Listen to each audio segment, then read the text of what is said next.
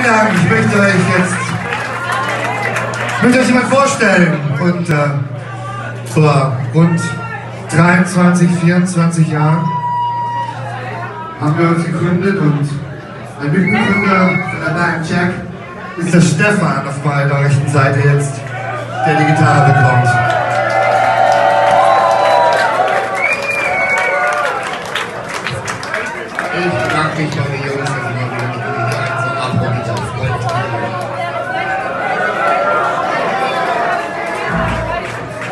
Yeah.